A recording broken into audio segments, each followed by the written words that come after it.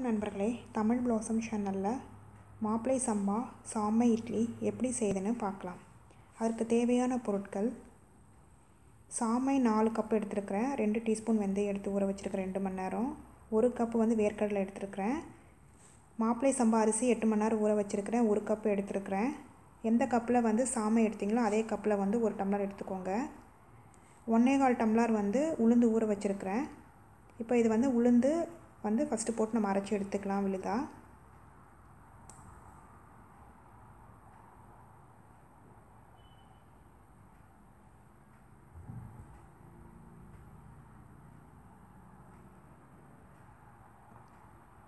பாருங்கள் விழுதா அரைச்சாச்சு. இது ஒரு பவுலில் கொட்டிக்கலாம்.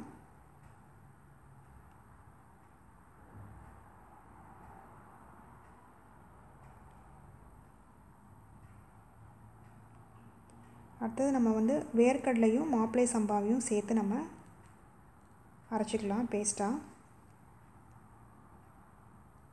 இப்போ மாப்பிளை சம்பா அரிசியை நல்லா ஊற வச்சுக்கோங்க. அப்போ சீக்கிரம் அரைஞ்சிரும்.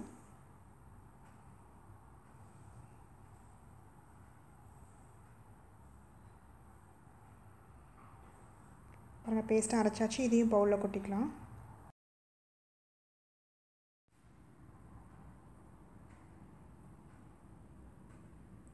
அடுத்தது சாமையும் வெந்தயத்தையும் சேர்த்து அரைச்சிக்கலாம்.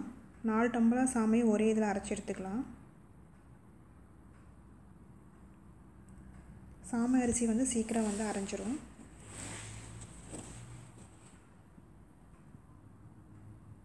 பாருங்கள் நம்ம அரைச்சி எடுத்தாச்சு. இப்போ இதையும் அந்த பவுலில் கொட்டிக்கலாம்.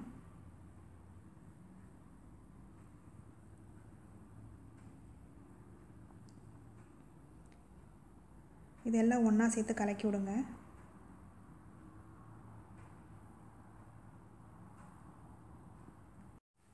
மாவை கலக்கிட்டு ரெண்டு பவுலில் நம்ம மாற்றிக்கலாம் ஏன்னா புளிக்கிறப்போ மேலே பொங்கிடும் இது எட்டு மணி நேரம் புளிக்க வச்சுட்டு நம்ம இட்லி ஊற்றிக்கலாம்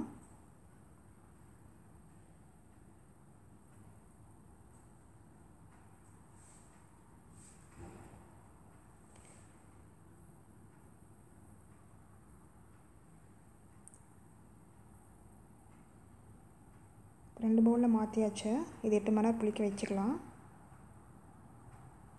மாவு புளிச்சிருச்சு.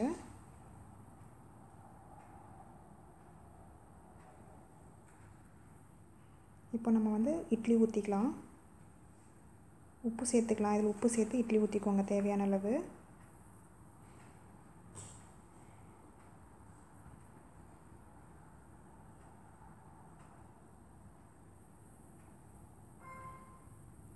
பாருங்கள் இட்லி வெந்துருச்சு. ரெசிபி செஞ்சு பார்த்துட்டு கமெண்ட்ஸ் என்னென்னு சொல்லுங்கள் இது பிடிச்சிருந்தா லைக் பண்ணுங்கள் ஷேர் பண்ணுங்கள் சப்ஸ்கிரைப் பண்ணுங்கள்